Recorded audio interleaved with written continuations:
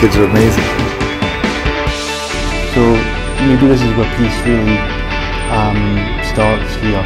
Uh, I feel that very much about uh, these meals in, uh, in, in South Sudan.